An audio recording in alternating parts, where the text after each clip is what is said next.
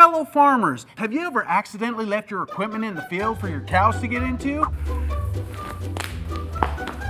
I know I have.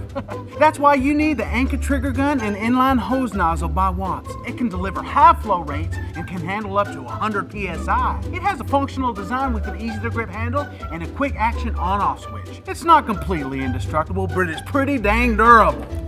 Let's put it to the test.